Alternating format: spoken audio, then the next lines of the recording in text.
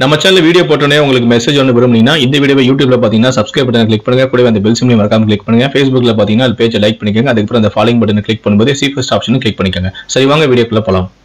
கடலூர் புதுப்பாளையம் பகுதியில் கணவருடன் வசித்து வருகிறார் இருபத்தோரு வயது இளம்பெண். இவருக்கு திருமணமாகி ஏற்கனவே இரண்டு குழந்தைகளும் உள்ளனர். இப்போது இந்த பெண் மீண்டும் கர்ப்பிணியாக இருக்கிறார். தற்போது ஐந்து மாத கர்ப்பம். சம்பவத்தன்று கணவனும் மனைவியும் கடலூரில் உள்ள ஒரு தியேட்டருக்கு நைட் ஷோ சென்றுள்ளனர்.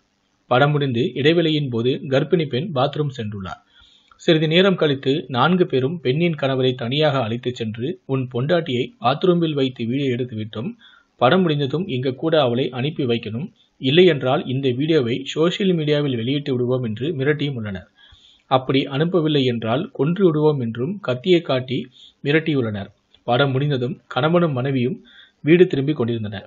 அப்போது அந்த நான்கு பேருமே காரில் பின்னாடியே வந்தனர்.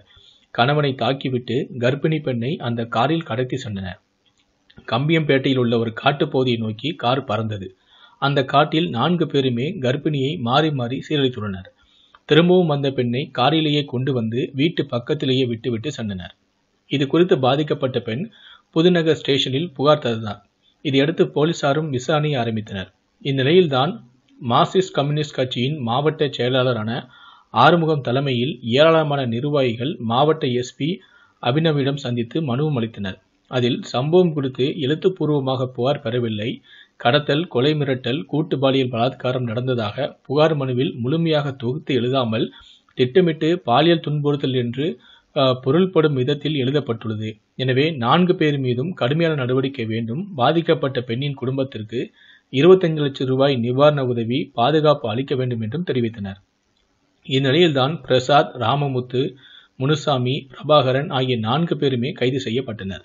இவர்கள் நான்கு பேருமே சம்பந்தப்பட்ட பெண்ணை எப்போதோ கேலி செய்ததாக சொல்லப்படுகிறது. ஆனால் அவர் செருப்பை கலட்டி அவர்களிடம் காட்டி மிரட்டி இருக்கிறார். இது ஆத்திரத்தில்தான் அந்த நான்கு பேருமே பெண்ணை காரில் கலைத்து சென்று பாலியல் துன்புறுத்தில் ஈடுபட்டதாக கூறப்படுகிறது. கணவனை தாக்கிவிட்டு கர்ப்பிணியை காட்டுக்குள் இழுத்து சென்று பலாத்காரம் செய்த சம்பவம் பெரும் அதிர்ச்சியை தந்துள்ளது. இதை பற்றி உங்களுடைய கருத்துக்களை மறக்காமல் பதிவு பண்ணுங்கள்